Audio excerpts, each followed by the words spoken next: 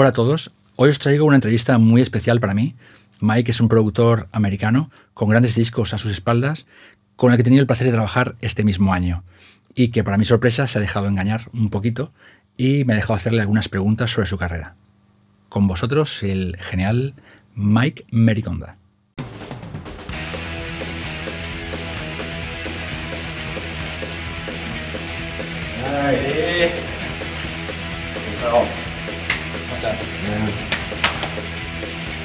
Bienvenido. La primera pregunta que te hago, Mike, es sobre tus inicios en la producción musical, en tu carrera.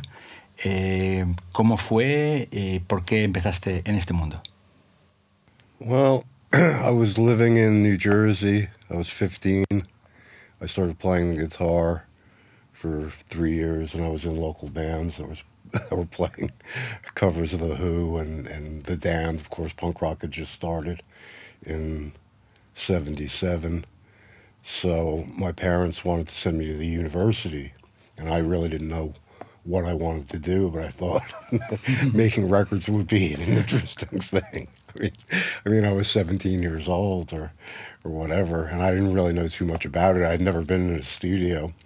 So we had done some research and found out that there were, there were three universities that actually had a program of producing records and be or being a, an engineer in music.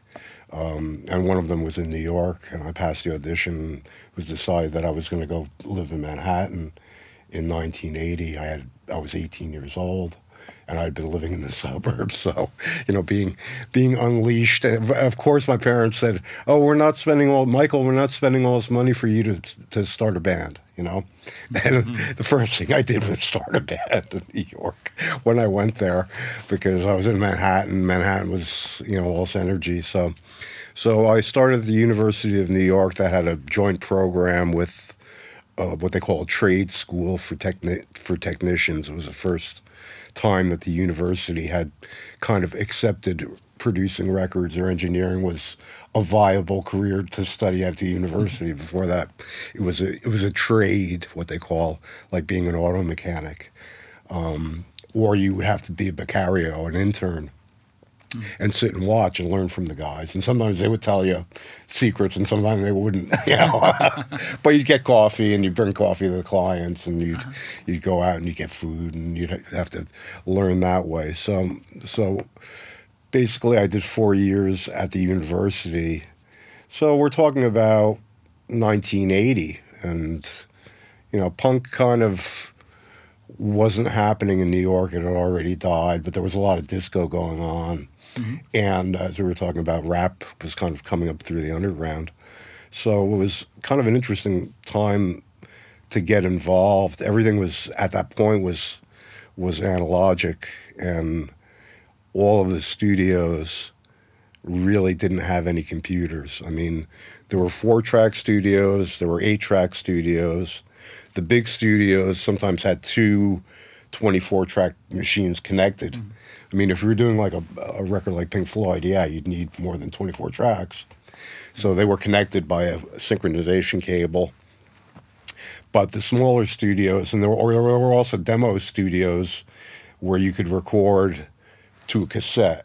Now, this is how groups started out. If you wanted to get a show at CBGB's, mm. you basically had to have a cassette to give them. Mm. So you would go to a studio small the guy maybe would have a 16 channel input board and he'd record direct he'd do a live mix mm-hmm. and that would be your demo tape. So and then you make copies and you bring it to cbgbs and say hey you know here's my group here's my phone number you know you know if we can get a gig. So you know that was part of the process of of trying to get shows in new york. You needed to have some kind of documentation of what your group sounded like or so there were there were enough studios in New York of various sizes. Some, like Electric Ladyland, of course, had two 24 track machines. You always had to have two multi tracks in case one broke down, because if it broke down, you were losing three days of work. So you'd always have to have a backup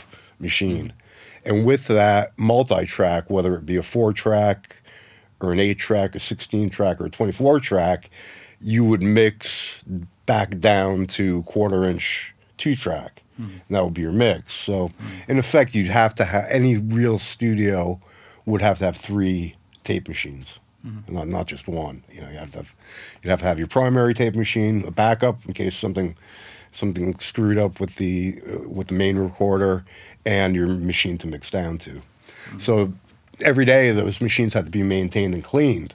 You know, so you clean them with alcohol. You'd set up the test tape, calibrate the machine. I mean, this is a daily process, especially at the big studios. And they had technicians and they had on-site people. I mean, now studios are run by one person. Mm-hmm. Normally, the bigger studios had five or six people. If you, you know, if you read about um, Abbey Road, and they, you know, they had like ten people working during a Beatles session. Now it's down to one person because we don't make any money. we can't. There's more than one person working at the studio. So, so back in the day, it was usually a team of people. Smaller studios usually had two. Bigger studios had maybe five, six employees, mm-hmm. and separate producers that would come in and bring work. So, so that's pretty much how I got involved with it. And what had happened was I had gotten a job at a record store while I was working at the university. And I was very lucky to get this job. It was the last year. I think I was I was 20 when I got the job at the record store. And the record store was kind of mining the underground garage scene because being that punk had died, there was a lot of interest in old music like rockabilly reissues uh, especially nuggets, garage bands, mm-hmm. things from the 60s. People were kind of interested in these kind of obscure records. And it, garage rock from the 60s was becoming a real big thing. There were reissues coming out, there were rockabilly, Stray Cats were starting. I mean, everybody was kind of in this retro thing because punk had kind of died, you know? Mm-hmm.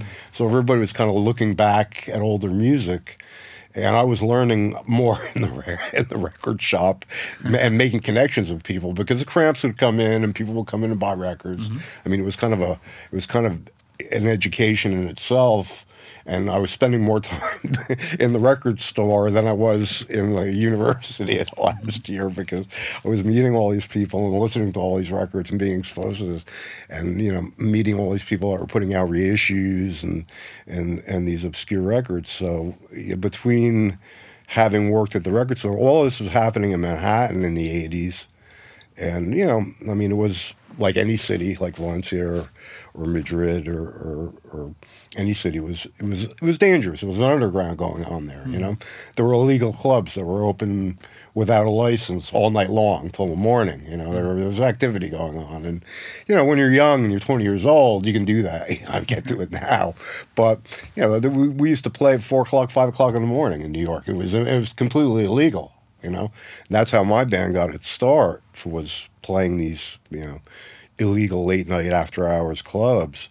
And it was pretty normal because the living conditions in New York generally you were living in a shitty apartment with a roommate you didn't like, with cockroaches. You couldn't really cook there. So you didn't really spend too much time in the apartment because everybody was kind of out on the street, you know? Mm-hmm. So it wasn't impossible to like walk into a bar and see Andy. Warhol or Lou Reed. I mean, because they were at Max's Kansas City, they were actually like everybody was out. You know, nobody was home on the internet or whatever. There were people didn't even have TVs, so you didn't really spend too much time in the house except to, to maybe shower and sleep, and then you go out to a club or you go out you go out to a record store or whatever. Um, the culture, I think, at that point as opposed to now. I mean, I stay home a lot now. I'm older, of course, but you know, those activity out on the street, you could see things, and because there was no internet and there was no phone, you would walk out and you'd see a, a poster, you know, on a, a, pinned up on a wall saying, "Oh, you know, hardcore show, punk rock show, two dollars here, five bands." And it would be agnostic for something. You you have to go out to know what to know where to go and make contacts. You know, you couldn't make contacts in your house because there weren't any computers. So mm. if you weren't out on the street talking to people, you really couldn't get anything done. So that was kind of going on um, at that point. So I had met Tim Warren from Crypt, who was always coming in the record store, and Crypt had started with the back from the Grave series of, of reissues of unknown garage bands. I remember when he came in in 1983 with a copy of the record. You know, actually did his own compilation from singles, you know, that were rare. And he gave me a copy. And that kind of started a whole boom of groups listening to basically do it yourself homemade musicians. I mean, uh, you know, a lot of these recordings were done with two microphones with teenage kids in 1966. Mm-hmm. So everybody kind of thought, okay, after this punk thing, it's like, yeah, I can pick up a guitar, it's three chords, you know, and there was mm-hmm. kind of a garage movement going on. Now, when I got friendly with Tim, Tim started doing new groups. Mm-hmm. Um, he had spent some time in Europe and he was releasing some new groups along with the, the records from the 60s. So he came to me, I, I and as he was doing these new groups like the Raunch Hands and the Devil Dogs and the New Bomb Turks and mm-hmm. Nine Pound Hammer, uh, because I'd gone to school for him. so, so I basically became his house producer uh, in the '90s, and any group or most of the groups that were on Crypt, I would be in charge of the production because I'd gone to school for it and I knew it. Mm-hmm. At that point, we. Uh, we were working out in Brooklyn at Coyote Records, which was they started out in a rehearsal space with a four track. Then they moved out to Brooklyn. And they got an eight track. Ooh, we are all everybody's so happy we are recording on eight tracks. So, so a lot of those records were done on eight track in out in Brooklyn at Coyote, and again because there was no internet and you couldn't really study and really I didn't I was a guitar player I my the guy who was engineering the sessions was a guy named Albert Caiati. That's why the studio is called Coyote because he was an Italian called Albert Caiati, and he was a drummer. You know, and I was a guitar player, so he knew how to tune a drum. He knew how to make a drum kit. So I learned so much from working with that engineer about how drums should sound because I didn't know. You know, I just played the guitar, the guitar and, the, and a little piano. So we're having worked with Albert, I was learning a lot about miking drums and stuff. And really, every studio that you went to, and even here, I mean, you know, I mean, people are watching me saying, "Oh, you know, it's like your, te- your te- technique is revolutionary." It's uh, it's really simplistic. It's minimalist. Um, but every session you go to, you try to learn from somebody. You know, mm-hmm. you can learn from the drummer. You can learn from anybody about where a microphone should go, how, how things should be tuned. You know, and things like that. So you know, I was lucky to have to have gotten that that job for Crypt, and from there, after that, when the Crypt group started touring Europe, a lot of European bands started asking me to to come and, and work over here. So I wound, wound up living over here for part of the time, then moved back to America, um, and then came back here to, to do it. But um, I paralleled my career because really when I left the university and I started working in a studio, uh, they were doing disco, you know, mm-hmm. and they were taking a lot of drugs, you know, and I really didn't like the ambience of like, like man, I'm not going to make disco records. I can't, you know, I can't. It's not really the music I like. I, mm-hmm. I can't stand it. So I moved into being a television editor and started making money uh, that way you know, mm. and kept the music production kind of as a hobby, as a pasatiempo, as a hobby. So I didn't have to be at a studio every day making disco records or doing anything I didn't want to like to do, you know. So uh, in that respect, I was lucky because I got to work with the groups that I liked, mm. and I never had to do like a speed metal band or a rap mm. band, you know, things things that I didn't really want to do, you know. Mm. So uh, really, it was kind of a luxury for me to, you know, it was fine. I could be a prostitute in, in video and make TV commercials, you know. and conversely, there were filmmakers that were working when I was working as a video editor that were independent filmmakers, and they were like, "Man, these guys are spending more money on a, on a Smirnoff vodka commercial. I could have made could have made three feature films, independent films with the money." I didn't care because I wasn't really interested in making movies, but I was interested in making money, and I knew I, if I was going to do it in music, I would have to be a prostitute. You know, mm-hmm. I would have to compromise my whole vision. So, I basically kept music as on the side, so it wouldn't ruin ruin me. I mean, any whether you're playing or whether you're producing or, or, you know, when anything becomes a job, even if it's a marriage or whatever, then it's a job and you don't like it. so I tried to avoid having my principal money income coming from music because I knew I'd have to do things that I didn't want to do, mm-hmm. and I didn't want to hate my job because I loved music. So I figured I'd you know I, would go work in television. So I kind of was working in two fields at the same mm-hmm. time, you mm-hmm. know, and then um, after a couple of years in Madrid. Uh, working with the Pleasure Fuckers and the Vancouvers and some of the underground groups there. I was hanging out in Madrid illegally for a year, uh, kind of working and checking out the scene.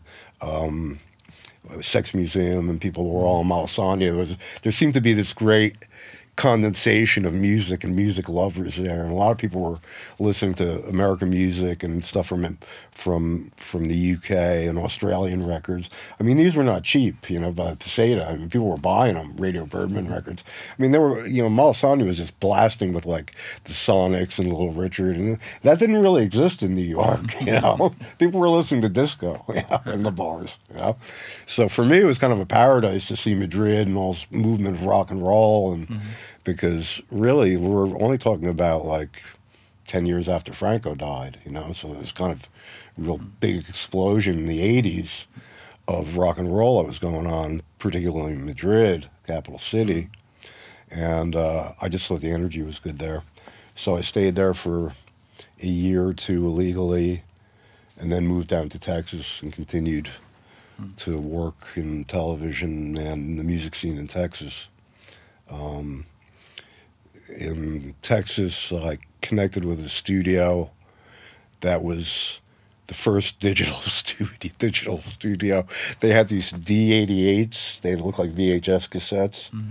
and they have like eight track and eight track. You put two VHS in, mm-hmm. and that was the first time I recorded on digital.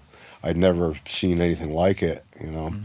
but it was like a digital VHS tape. I think they're called D8 D88s or something that format only lasted a couple of years, and then it went to that, mm. that kind of digital tape thing. But there was a studio down there called Sweatbox that was in a locale, like a practice space, and uh, I walked in there and they, they were charging $10, $10 an hour to record there. I walked in there and I was like, man, I can't make a record here. And it turned out to be a really great studio in the end because the technicians were good and they kind of understood what I was doing. I mean, it was a low budget place. There was graffiti all over the walls, and there were big cockroaches, and you know, it was not not a great place to be. But mm. it, was, it was kind of the underground of of Texas. So immediately, I got in with those guys and started using them and a lot of groups because I had worked with Crypt and I worked with European groups. A lot of the Texas punk bands and, and garage bands started calling me about working. So I immediately got in on that scene. So that's kind of the first 10 years of it. Yo he trabajado contigo y la verdad es que me gusta mucho verte trabajar y tu forma de afrontar los proyectos eh, tu método, digamos. ¿Puedes hablarnos un poco sobre tu forma de trabajar? Well, I think the main thing is you have to create an ambience for the musicians primarily to get them comfortable to play. I don't think the the most important thing. I mean, yeah, microphone placement and and doing the technical things are important, but I think it's important to to, to get the the the band playing as good as they can. I think in order to do that, again, they have to drop, get rid of their mobile. They have to. I mean, they have to play with their friends in the room, like the practice. You know, you can't play alone. It's like eating alone. I mean, I mean the experience of making a record is a communal experience. It, it basically is like a basketball team. It's like a sport, mm-hmm. you, know, uh, you know, you got five guys playing basketball. You got five guys in the in the room together. That that's what you need. You need visual contact, and you need to have a comfortable ambience, or else you're not really going to capture the energy of the group, because as we were talking before, if you're trying you're trying to document it and take pictures on Instagram and look at your mobile or look at this or look at that. You're using that energy when you should be playing your instrument. Mm-hmm. so I think it's important that everybody gets hundred percent behind their job. I mean, if you if you're the drummer, you got to play the drums, and that's what you got to do that day. You know, you can't think about anything else. And again, I think it, you know, it, it, to capture the energy of the group working together, they have to be in the same room looking at each other because it's basically the same thing as a concert. You can't play the concert alone, and you can't really go to the practice alone. I mean, you can, but you know, music is a communal thing. And, you know, look, you know, here in Spain, I think eating is a very communal thing. I mean, paella in Valencia is to be done with a number of people, and everybody, you know, puts puts their for. I mean, that's that's tradition. You know, mm. it's not really quite the same as eating in your house by yourself. You know, you don't have that that ambience of sharing with your friends. You know, so I think every year, especially after the pandemic, people are getting more and more isolated. Hmm. You know, they're recording at home, they're eating at home. There's less communal activity, and I think when you have that communal activity and the energy, and your friends are out, you're drinking a couple of beers and you're enjoying the experience. That's what I document you know, and that's all I do. I mean, I'm I'm just a documenter, you know. I don't. Hmm. I mean, yeah, I play an instrument. I have I have experience. I went to school for this, but you know, you just try to capture the group like a photographer. I mean, you want to get things as natural as possible. Now, I know photographers, and you know, that's another job that's becoming obsolete.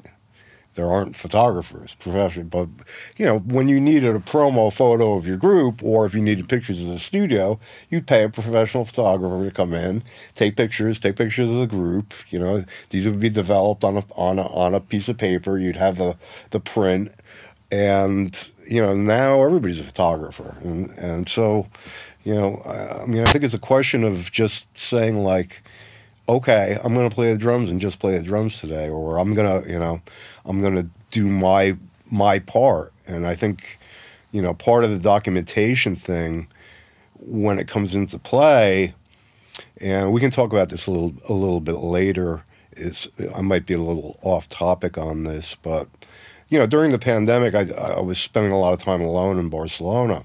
I did a lot of thinking. I, I was listening to music a lot. I was watching a lot of movies, you know. And I thought, well, you know, I like Alfred Hitchcock movies.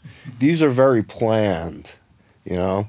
And I started getting influenced by directors, by film directors, instead of producers, which I'd been listening to Joe Meek. I was listening to various producers to try to learn, you know, Brian Wilson and Phil Spector and people like that, try to learn, see what they were doing during the pandemic, I was watching movies and I was actually influenced by directors. Now, now this is a good thing because when I was learning guitar as a teenager, my teacher told me, well, maybe you shouldn't listen to guitar player. Maybe you should listen to uh, John Coltrane. Maybe you should listen to a sax player. Maybe that'll help you, help you get some ideas. You know. Mm-hmm. So I started watching these movies, and I thought, okay, you got a guy like Hitchcock who's planned out everything. Everything is planned. You know, much like Brian Wilson. You know. And then on the other hand, you have a filmmaker like John Cassavetes who's improvising, much like Rudy Van Gelder, document document as he's doing documentation of a group that's just improvising. He doesn't know what's gonna how long the song is gonna go on, and then you have stuff that's super planned. You know, so and of course he can work both ways, but these are the two extremes: complete improvisation or complete pre-production and planning. You know? And there's various middle grounds. Like I said, it doesn't have to be one or the other. They can be mixed, but you know, I'm just trying to think of like how much pre-production a group needs. Now, the important thing, I think, to get the group comfortable is you got to meet with them before. You got to listen to what they're doing. You got to know their history. You got to know what they like. You got to know what they don't like. You have to represent them when you're docu- when you're documenting them. You have to represent them correctly. So to get every piece of information you can get, if the drummer says, "Well, I like Joy Division" or "I like '80s post," I know I'm going to have to make the snare sound like mm-hmm. gated, like a kind of '80s drum sound, and I can do that. You know, it's not my favorite thing to do, but you know, mm-hmm. if that's what they want to do, if that's where they want to go with it, that's what you do.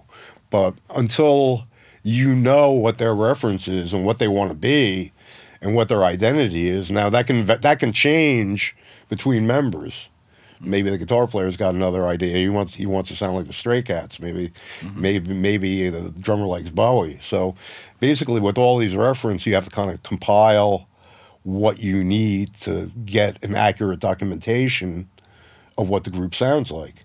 Sometimes it's easy enough. You can tell right away. Okay, this group loves the cramps, you know.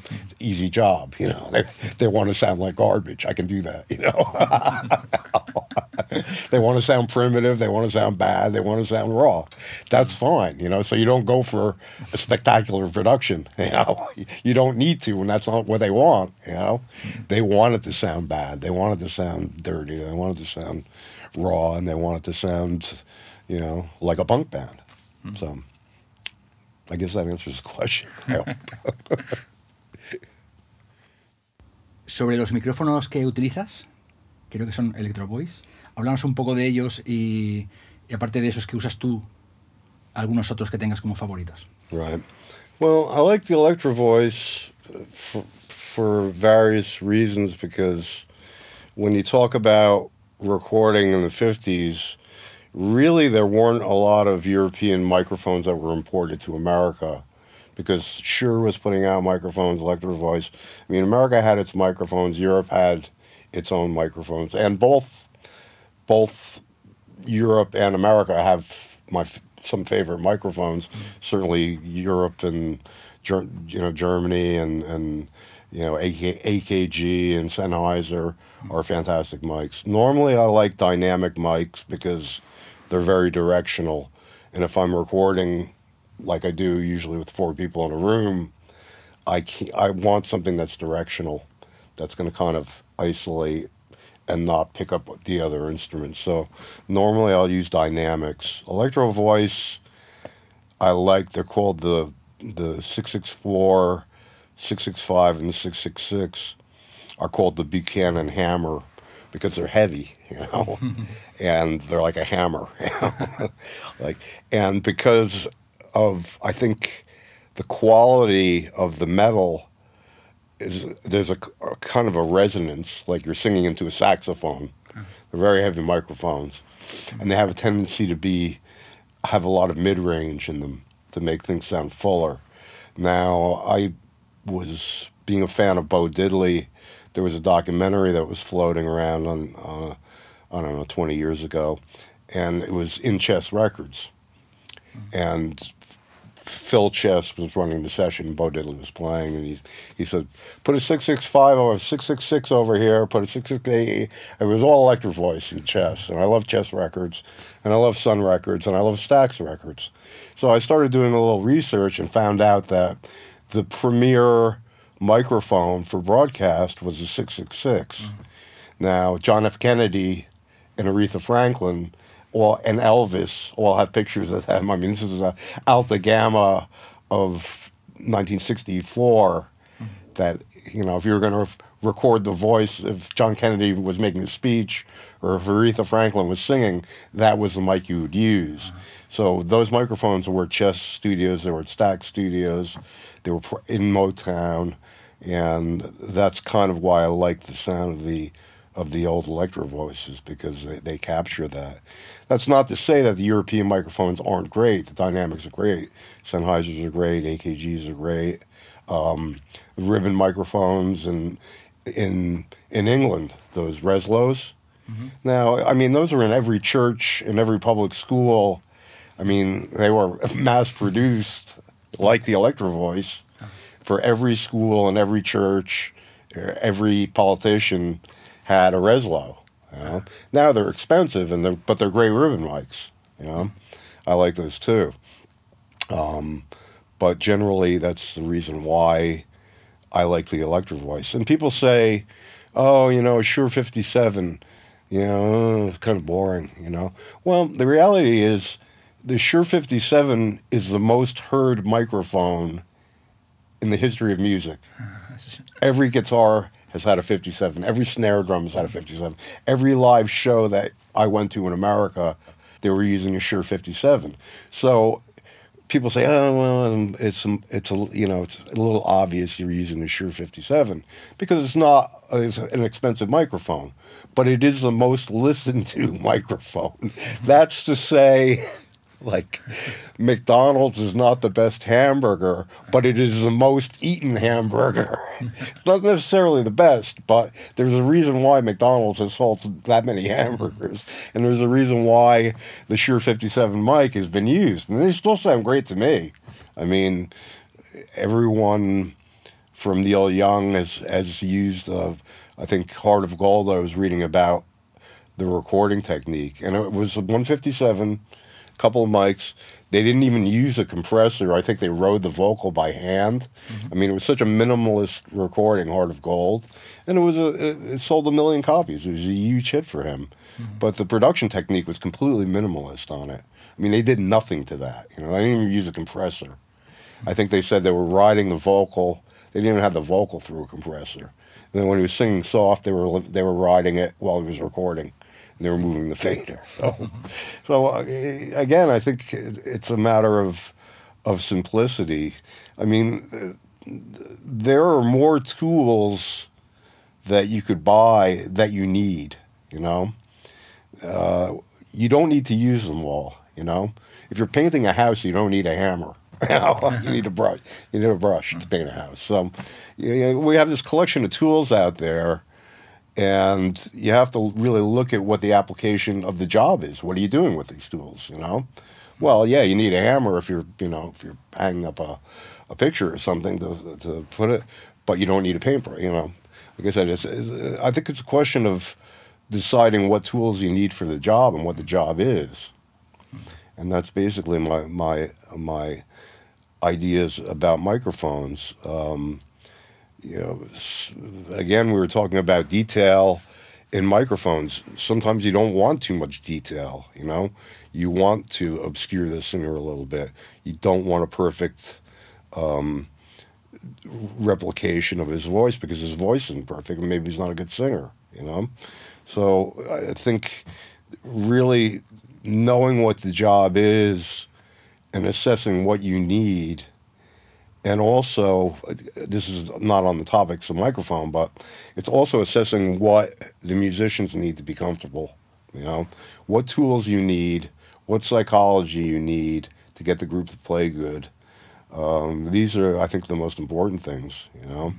And i think that a lot of modern production techniques and i've seen a lot of engineers and it's it's i think they're because they started maybe gaming or something when they were five years old. They were doing video games and stuff.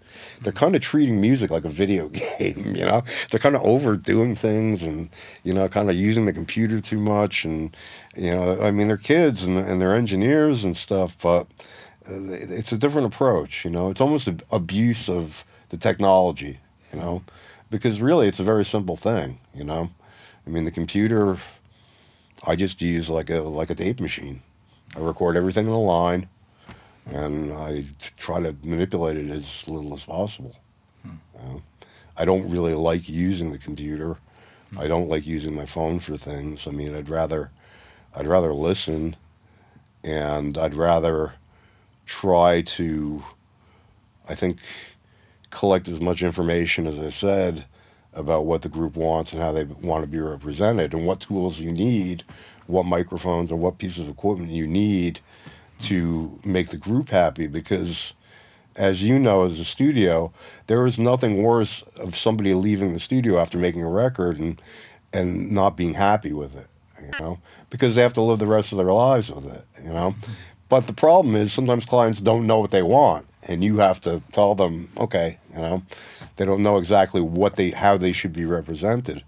But there's nothing worse than the feeling of uh, of walking away saying like, oh, you know, how's your new record sound? Well, I don't like really like it too much. You know, I mean, you know, the objective is, you know, being that these records are going to exist for years after we die and their grandkids are going to hear them. And again, you know, we're talking about people say, "Oh, you know, nobody's going to listen to my record in 20 years from now." It's not true because, uh, I mean, Iggy and the Stooges, Radio Birdman, the Sonics, all these mm-hmm. group groups have more fans now than they did when they were playing. I mean, the Stooges were a, a, commercial disaster that were thrown off of yeah, MC5. I mean, you know, none, none of you, ever, uh, anybody thought that music was going to be, be around, you know? Mm-hmm. But now it's more popular than it was at the time they were making it, you know? Robert Johnson, for example. I mean, you know, mm-hmm. you know, mean, nobody knew who he was. You know, now everybody knows who Robert Johnson is. You know, mm-hmm. but at the time, the, the guy didn't make any money. You know?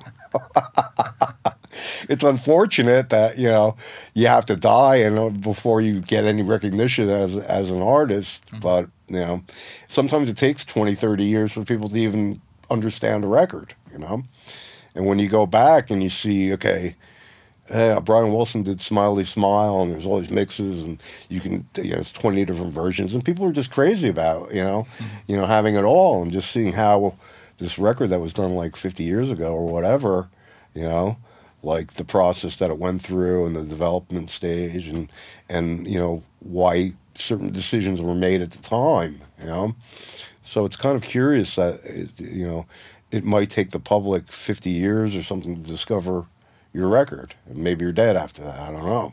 Mm. Or maybe you'll live to, to, to, to, you know, to get the appreciation and connect, to reach the people that you initially wanted to connect, but it took 30 years to do that. Con todo tu bagaje y toda tu experiencia en los estudios de grabación, habrás visto cosas inusuales, fuera de la norma. Eh, cuéntanos alguna experiencia un poquito especial, por favor. Well, really, there's nothing I really want to tell. I mean, you know, I, I think certainly in music and, and filmmaking, and you're going to have, you know, stories about people taking drugs and, and people doing things and people doing crazy things and, you know, people, um, you know, not being in the best form in the studio, but you know, I'm I'm not going to mention any names and stuff, but mm-hmm. certainly, I'm glad. I think there's a lot less drug usage and drinking in the studio than there was in the 80s or 90s, which was basically a party. And I know that the same was going on in Hollywood, mm-hmm. you know, whatever. But I think people are a little bit more relaxed about it now. Um, but th- there was one interesting story that I'll tell that's not really particularly about craziness in the studio, but we had the opportunity when I was in Gijón. I was working at a festival called Crossroads, and Sonny Burgess, who recorded at Sun Studios and you know, pl- yeah, played his group played with Elvis and everybody who was on Sun. I mean, the guy started mm-hmm. when he hmm. was 18 in Sun Studios. Now he was still alive and he was playing at the festival in Gijón, and I was working there at the Crossroad Festival. And I met, you know, I met him. I spoke English. I was working at the festival. I said, I'm really pleased to meet you. I'm a big fan of your music. And I said, we, you know, we have this analog, old analog studio mm-hmm. in Gijón. If you guys want to come and record a couple of songs, we'd love to have you. You know. Mm-hmm. So he said, yeah, yeah, yeah. He seemed re- really excited, you know. And these guys are like 70 years old, you know. Mm. I mean, they were, you know, they they'd seen everything. I mean, they they they started making records in 19, like 1958 or something, 90, even earlier, you know. And they were in Sun Records, recorded by Sam Phillips. So we brought them into Parodi to record a couple of songs. We didn't know exactly what they were going to do. There were five old guys.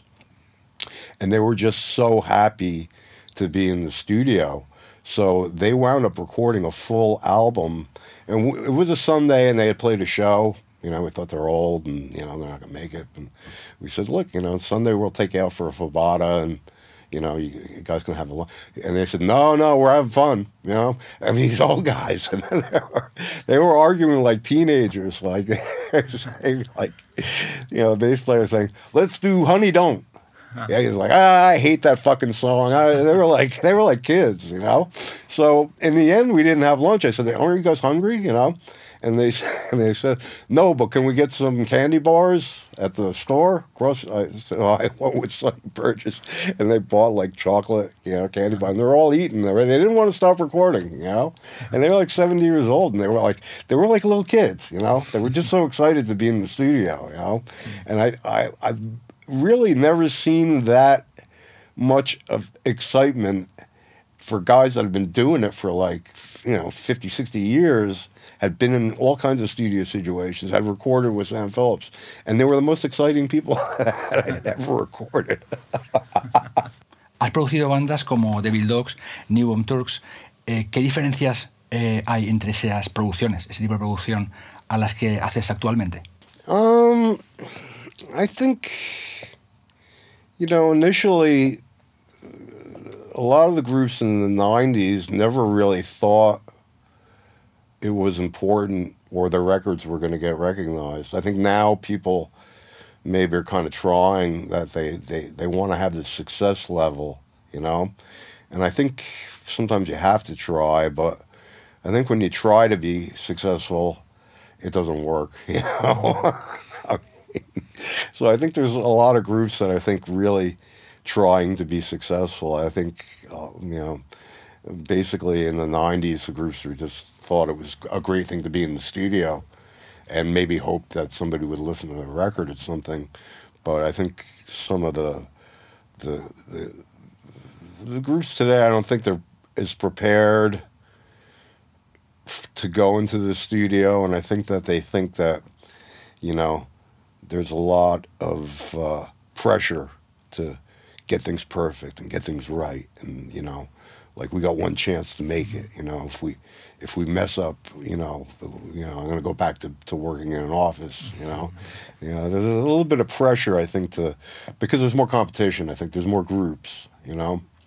And uh, i think it's very difficult to uh, for groups to compete on the market because the reality is uh, it's a very closed market now um, and there's more groups and there's less records being sold and there's less records being listened to i think.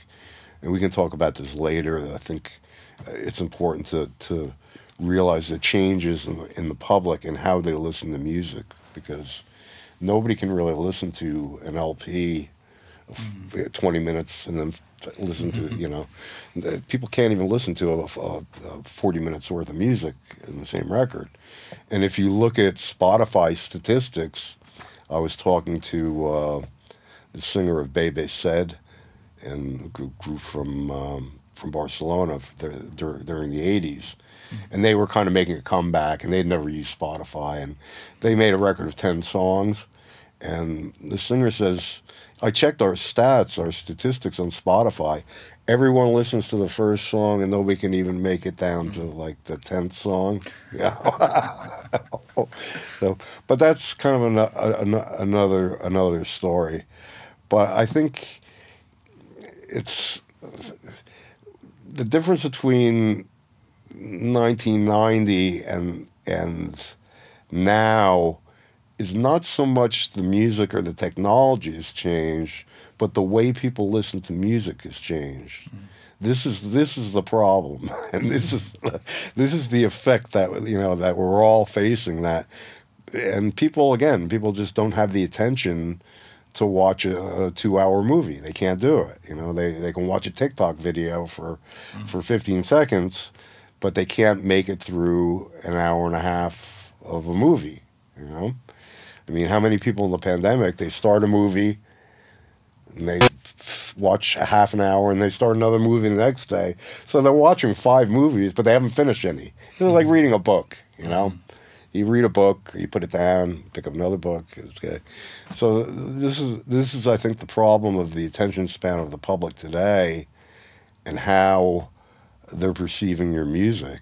I mean, and I think because a lot of it is governed by image because now you can record a concert and maybe the sound is terrible. So that's documentation of a group that I personally don't think should be circulating. You know, I wouldn't want to see mm. see me playing terrible sound out of tune and saying, oh, look at him, man, you can't even tune his guitar."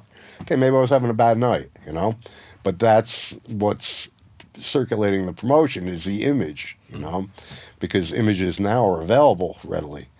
Now, if you take a group like Pink Floyd, like these, nobody even knew what they wore on stage. They wore T-shirts.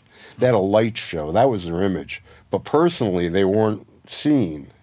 You didn't even know if they were on stage or not. You know, if it was the right guy. I mean, they they completely avoided having their personal image be the image of the group. Now, Bowie made a point of having his image represent his music. The Pink Floyd completely avoided.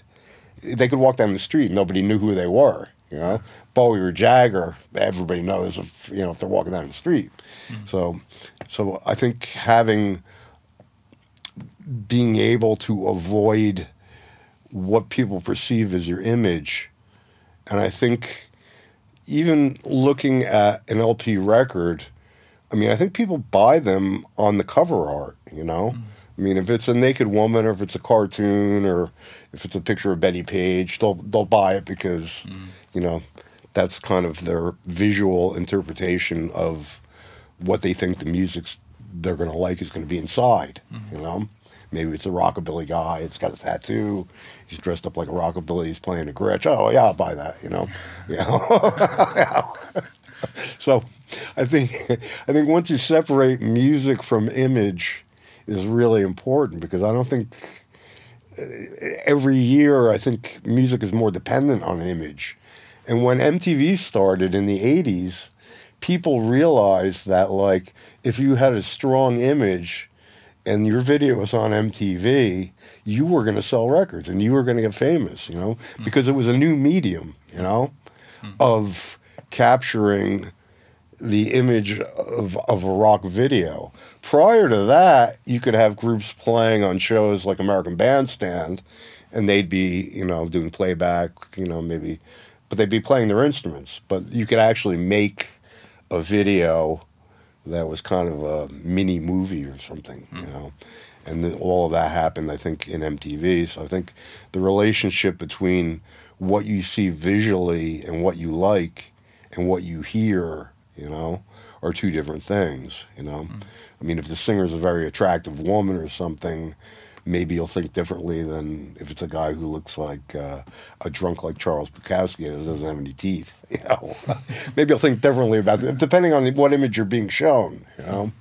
So, I mean, I think in the 60s and really all the way up to the 80s, the image of the artist like Dylan. You'd see a picture of him on the cover, and that would be it. Maybe you'd see him on TV, but you couldn't look at him when you wanted to on the internet. you know, you, know?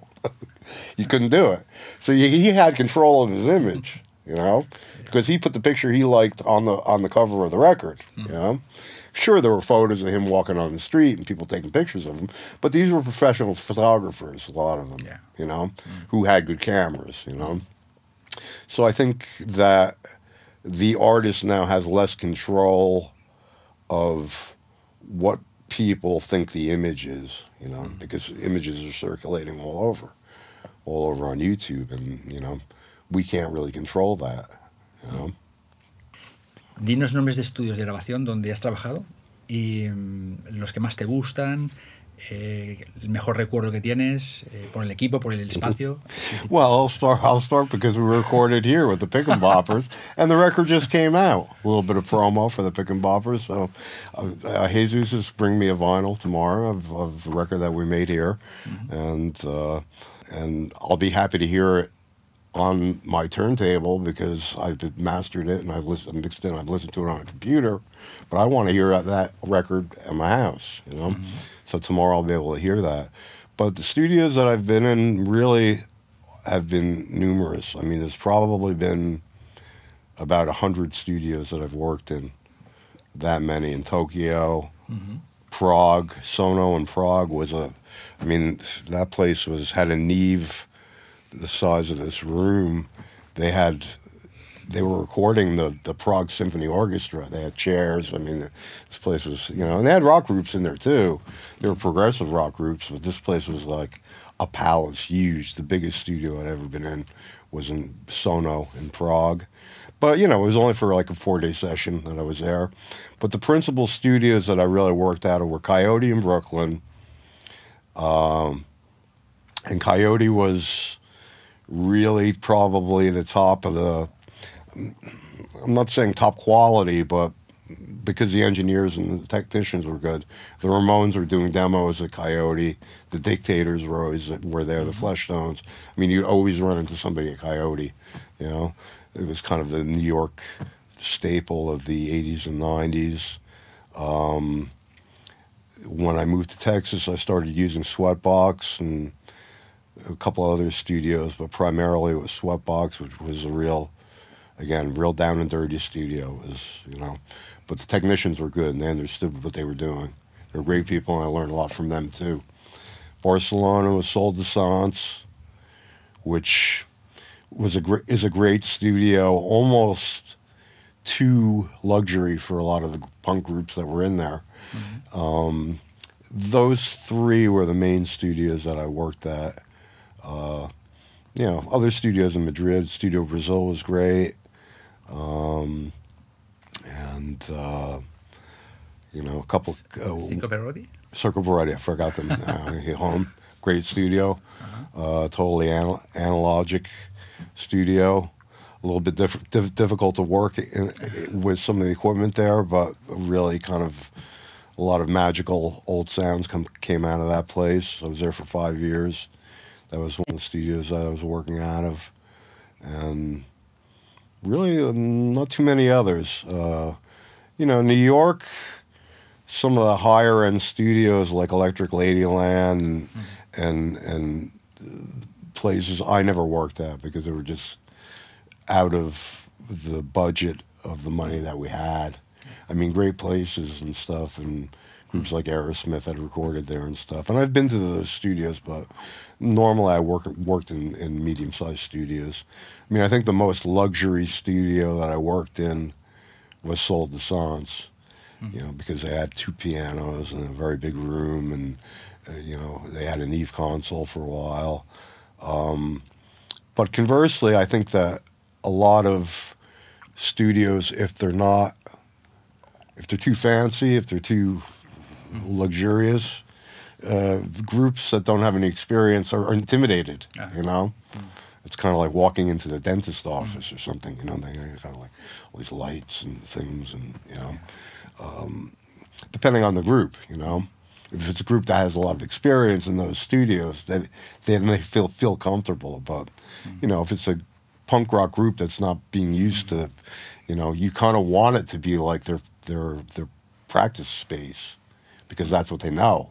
You know, mm. they don't want to feel like you know, you know, oh, you know, it's, this place is expensive. You know, it's, it's like restaurants. You know, you don't, you know some people don't like fancy restaurants. I don't. I don't particularly think that you know, eating a paella in a in a in, in a fancy restaurant is better than one I can get down the street made by a grandmother in a container. You know, mm-hmm. I mean, th- depending on the on the you know what the again what the needs of the artists are. But I mean, I think every studio has got its characteristics and and and and uh, method of working. I think part of the problem is that regardless of what the equipment that the studio has in it, I think it's important that the technicians and the studio owners can kind of be flexible with the times, you know, because certain people don't want to work after nine, or like for example, de Sants, we had to stop at nine because of the neighbors. Yeah. Certain drummers they can't they can't play mm-hmm. until after nine. You know, they're so used to playing at night mm-hmm. or playing gigs, you can't get them good at ten o'clock in the morning. Then they're not ready to play. so, so I think the hours of the studio have to accommodate the musicians. I mean, I don't personally like going till four o'clock in the morning. But if the singer is is going to be good at four at three o'clock in the morning, mm. I'm going to get that singer at three o'clock in the morning you know? because I know the singer's not going to be be good from ten to five in the morning. Hmm. He or she won't be able to sing because that, they don't do that. You know, hmm. it's kind of like playing in a small dark club and then having to play in the light when it's hot out, out on an out, outdoor stage in Valencia hmm. in the summer. You know, it's a different experience. You know, some people can't do it. You know, so I think depending on like when you, the time that you're going to capture the artist is important. To say that everybody's going to come in at ten and play their best doesn't necessarily mean that's going to happen. it might happen at ten at night. It might happen five o'clock in the afternoon. You know, you don't know when you're going to reach that. You know, that moment where the group's on fire. You know, and that's what you got to do because the reality is, if you're making a 40 minute record or a 30 minute record, you're making 30 minutes worth of music. You don't really need 10 days to make that, you know, 30 minutes worth of music, you know. Mm-hmm.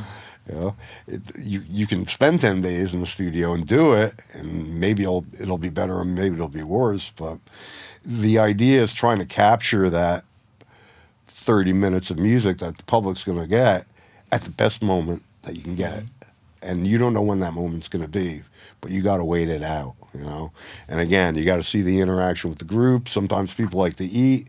Sometimes people need to have a drink. Sometimes people drink too much. You know, it's the same energy that that, that, that they when they get on stage. You know, and I've seen groups that are great after maybe they'll have two beers and they go on stage, but if they're sitting waiting and they're playing late and they have five beers and they're terrible because they're drunk and, not and they're not playing at their best. So you kind of got to gauge that uh, that that golden moment. And really, as a photographer, when they say five o'clock in the afternoon if you're shooting outside is the golden hour because the sun is and the light and everything is you know you're going to get your best photo at that, at that time because you know the sun is positioned there and the lighting and everything's good.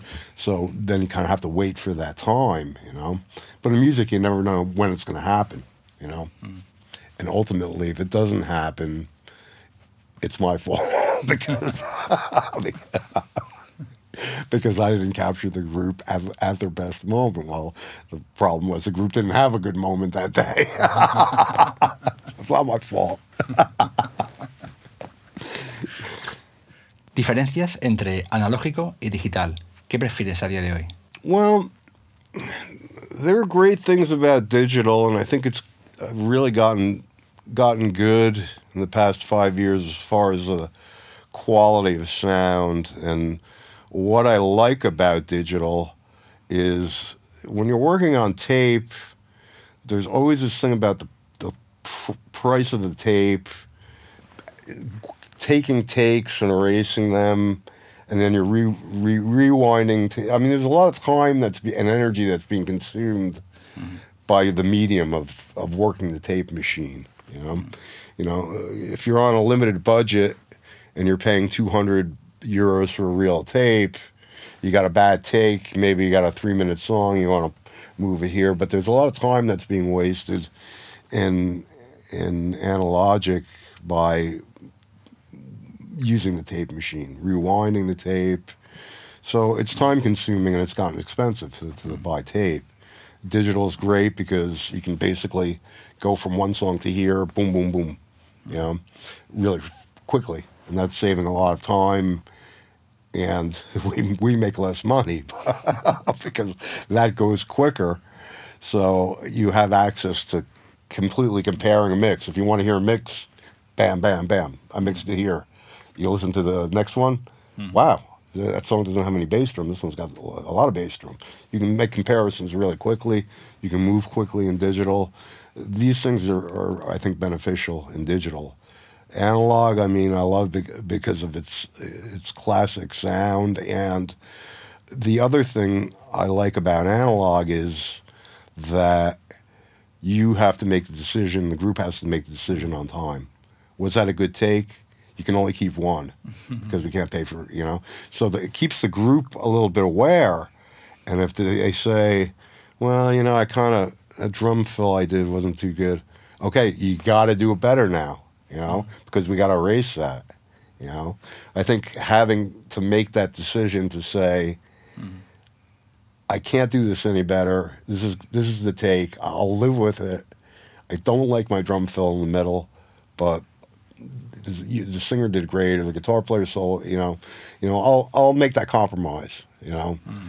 Uh, now it's nobody's making that compromise. You know, now you pick up the drum from this take, you put it there, you move the guitar solo over here. Um, I think uh, the uh, you know being alert and and knowing the process and making being able to make a decision in analog and say, I made that decision. I got to move on. Mm. You know, in digital, it never happens. People don't don't want to make the decision. You know, and and say, no, well, we have another take of that scene. Well, we can use that guitar from this piece and do we can do that. that. I, I think that kind of affects the way people play because I think when you know you're going to be able to fix something in digital that you don't prepare yourself as well. I think when you got one chance to do it on tape, mm. you, the musicians come in more a little bit more prepared, you know, mm. Because they know if they if if they're not playing good, mm-hmm. you know, it's going to wind up on the record, you know, and there's going to be no way to fix it, mm. you know. But now I think people realize that they can go back and fix things and go back and recut their parts. Everything's isolated everything's that. If I'm not having a good day, if I'm not playing good, uh, I'll just come in next week and, re- and redo it, you know. Mm-hmm. But it's given, it's given, look, you know, I like having options and stuff, right? but, but if you give too many people options, they don't know what they they're they're going to want. You know, if I walk into a restaurant, it's a menu del dia, right? they got three plates for the for the first plate, right? They got enchilada, they got a, a gazpacho, they got uh, something else, uh, pastel, they, they whatever, and they got three plates for that, right? You, you kind of know that you're gonna have to pick one of the three. and if you go to a restaurant that's got a menu that's unlimited, nobody is going to know what they want to eat. You know? There's too many things on the menu. You know, but if you kind of have these limitations of mm-hmm. choice, you know, then you got to make a decision, you know. But once you're given too many options, that what is kind of confusing people, you know, and that's what digital in effect is doing, mm-hmm. you know, because you're not working with a limited set of options, you know, you're given this almost unlimited set to work with, and nothing gets done because you're confused, you know, mm-hmm. and you're worried about the choice you're going to make. You know. sé que algunos discos los mezclas en casa. Eh, cuéntanos cosas de tu mezcla, eh, cómo lo haces y algún proceso que hagas un poco inusual o fuera de lo normal. Well, I only started mixing in, the, in my house this year. It's only been about eight months. Every record that I mixed for 40 years was always mixed in the studio on the board. And being that many studios now don't even have a working board, I just decided to get to mix in my house now. I I, I mi- really miss the physical thing of of using the board because I like to use my hands. I always did. Mm-hmm. I tried to use the computer as little as I possibly could. I was tried to mix by hand. Problem with that is clients want changes. It's very difficult to to go in a week later and have all your EQs and everything on the board set up, you know. They said, well, you know, I just want a little bit more bass in this, you know. Well, you know, I don't remember what the board, you know, I was 24 channel board, everything was, you know, mm-hmm. I don't remember where the reverb, what the EQ was, what compressor, you know. So, so it's hard to make a change for a client um, in a studio, you know. What I do like about mixing in the studio is, is the communal sense of having a the technician there if I need an opinion. if I have any doubt about, you know, you know, you know, then, you know, like I don't know your monitors, you know, you know them better than me, so you know if I'm, you know, if I don't have enough bass drum in the mix, you're going to tell me, you know, mm-hmm. say, hey, this is NS10s, Yamaha, you, you know, mm-hmm. you know, you need more bass drum than that, you know, because I'm not used to your monitors, you know. Mm-hmm you know. Uh, so sometimes I like the input of the engineer. I mean, I've worked with you and Mark Tena and great engineers I've certainly helped projects. Uh, and I like the communal thing of having a representative, at least one member of the band, if not the whole band, there because it's kind of an event and it's a, again it's a communal event and it's the difference between going to a restaurant eating or, or me heating up something from Mercadona in the microwave you know I don't like the experience of mixing the house as much. I mean, in one respect, it's great because it's quiet and you don't have people talking, but a respectful band or represent or one person representing the band mm-hmm. will have to take the responsibility if they say, "Hey, Mike, you know, like the the, the bass drum is just too loud and everything." Yeah. Okay, okay, I'll, I'll, I'll take the bass drum down, you know, mm-hmm. and then the drummer. If the drummer isn't there, he's like, "Where's my bass drum?" You know? so somebody's got to take responsibility. It's not me, you know. Mm-hmm. Now mixing in the house, I'm kind of using my own way, and I can people can write me back, and I can store things, and they can say, well, you know, tambourine's loud here, and next day I can correct it. But you know, I kind of miss that communal energy. You know, um, in one respect, I like it because if at 12 o'clock at night I'm listening to a mix I did, mm. and I'm thinking, man, that, that tambourine's really loud. I got, you know, I'll make a note of it on a piece of paper and eight o'clock in the morning next day I can go fix it. You know? Mm-hmm. And the other great thing is a lot of times mastering will affect the mix. Now I do mastering and I know the effects of mastering, but sometimes if I'm mastering a song that I've mixed and the tambourine has got a lot of highs and it's right next to a song that has absolutely no high frequencies, mm. then I got to kind of compensate that in the mix. So maybe I can go back and remix it you know, and realize that okay, the sequence. Mm-hmm. It's not really what I, you know. So I, I'm trying to mix and get groups to give me the sequence so I can see how the song follows the next song. Like if I'm using the same effect on the voice, say if I got the voice distorted on three songs, I don't know what the sequence is the group gives me the sequence when I'm mastering. Those three distor- distorted voices happen to be all together. Mm-hmm. They shouldn't. I wouldn't have mixed it that way. You know, mm-hmm. you know. I don't want three songs together. But look, I'm old school and I listen to records mm-hmm. together. You know, not many people do anymore. So, but I like the idea of seeing the continuity. Of okay, you got 20 minutes of music on the side, and you got 20 mi- minutes of music on the other side. Mm-hmm. You know, how is this going to play rhythmically or all the songs in E. So I, I think trying to know the sequence and what the finished outcome of what the public is apparently going to listen to, at least the people who listen to vinyl records, mm-hmm. that that record's going to flow like Exile on Main Street, like any classic record from the from the 70s or 60s mm-hmm. or anything. I think there's a certain planning that goes on, you know. And I think if you look at things like you know, I'm I like the Who. Tommy's not my favorite record, but again, mm-hmm. that's a conceptual record that has it, it's written like a book. There's chapters, mm-hmm. you know, and I think records should play out that way, you know.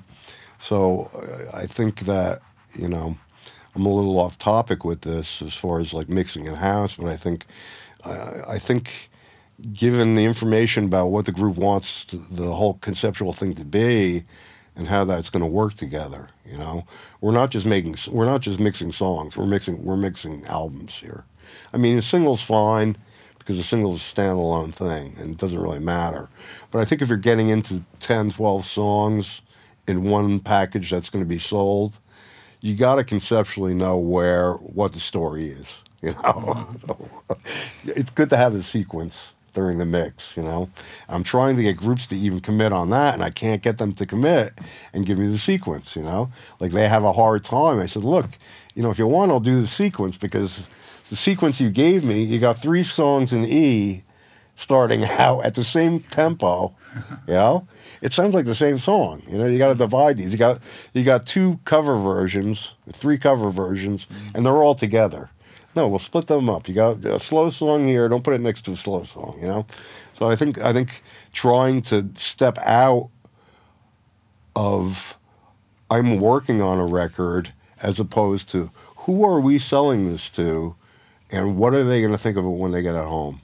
You know, it's a question of getting on the other side and looking at it. You know, mm-hmm.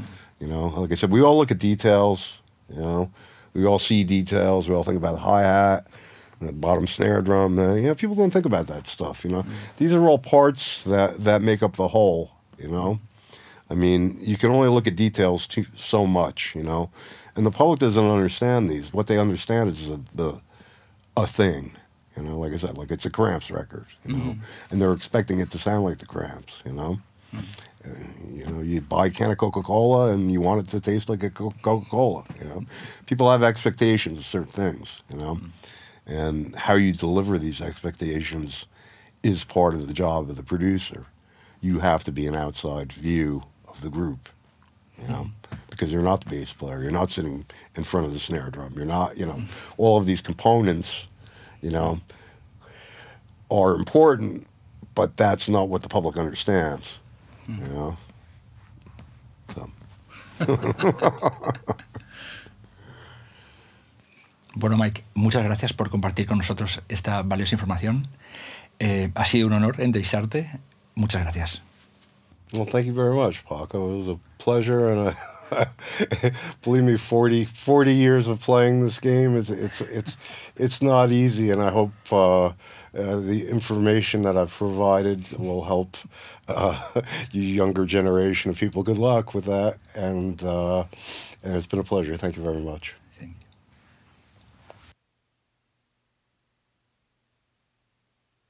My best friend. This is the Electro Voice six six six. Favorite of John Kennedy, Aretha Franklin's favorite microphone. This is the brother of the 666. This is a 665. You can tell the difference between the portals, but they're very similar microphones, very directional. Basically, you got to hit the thing there. If you're off axis that much, you'll lose it. A very directional microphone.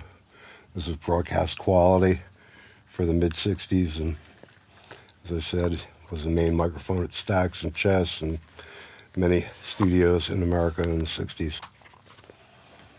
It's called the Buchanan Hammer because it was made in Buchanan, Indiana. And it's like a hammer. You can kill somebody with this. Luckily, I'm divorced and I don't, I don't get near my wife with this because. okay, Pleasure Fucker's first abortion. This must have been 1991, maybe. Roy and Yvonne, they were Jamaican legends. Got a copy of that. This is a pleasure to work with them. They're still active, playing festivals on the reggae circuit. Excitements from Barcelona. This is done in Red Bell Studios in Mortena. This is Limbos. It was done partially in Madrid and Barcelona. New Bomb Turks, of course. Coyote Records, two day session. Barons Woodfield just came out. It was done in Elefante in Valencia, Guadalupe Plata. Recorded this in Austin, Texas, and mixed it in Malaga. Uh, Holler Studio with Maxi. Devil Dogs done a Coyote, Brooklyn, as the Raunch Hands done a Coyote. The first record that I did in Barcelona. Was Mario Cobo's group, the Nu Niles. Um, I was living in Austin. Mario called me. I went to Barcelona. It was the first job that I did at Red Bell Studios at Mortena quite a while ago, 15 years ago or something. Los Chicos, this was done in Madrid uh, about 10 years ago. Tennessee Chicken we did about five years ago. This is done at Sol de Sans in Barcelona. Sonny Burgess is done at Circo Perrotti. And this is kind of another topic that I do audio restoration and reeditions. So this is kind of music from the 50s that basically taking vinyl and doing audio restoration. I could talk about that for a day if you want, but, we'll leave that for another session. But there's a lot of compilations that I've done of older material for Jerome Records, Ike Turner, Bo Diddley, and some things that are just cleaning up old vinyl records. and you know it's labor- laborious work. You're getting clicks and trying to clean things, and even sometimes even a record is skipping, and you'll have to edit one point and and make a correction. But um, you know, it's kind of working on classic stuff and improving it for a whole new generation of people, um, and improving the sound quality from old discs tapes that don't exist anymore, and things like that. So you know, conversely, it's kind of nice because you you're not you're not working with a group. You're working with a dead guy who doesn't have anything to say about it. so you don't have to answer to anybody.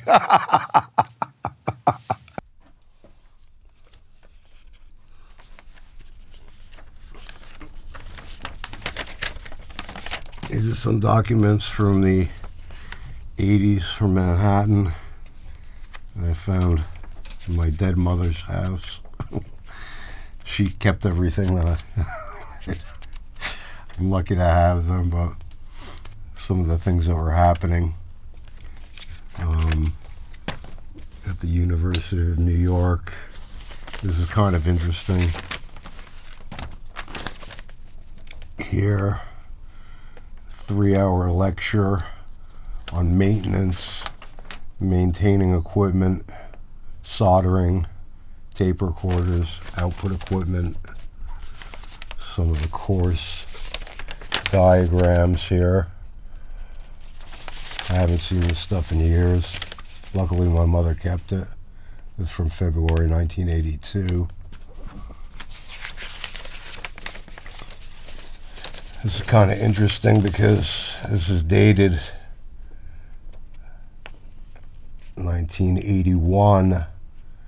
June 9th, The technology of why and how digital is used in audio. I mean, at the time, you know, when digital came, people thought, "Ooh, it's it's a fad. It's not going to last. It's not going to work." You know, what is this new thing? No, nobody needed digital. You know, so kind of like the internet, people were like, ah, it's never going to work. We're not, you know. I mean, people first saw a computer, and I was like, ah, you know, what's this computer thing, you know? And then now we're spending our lives with computers, but you know, I mean, at the time there were a lot of older guys in the in the business that just said, yeah, digital, yeah, so great, they're crazy, you know, never going to happen. Kind, of, kind of a thing that you know at the time, people were like, ah, you know, no, we don't need to know this. The same with computers, you know. Well, I don't, I don't need to know it, you know. So you never know where the future is going to bring you.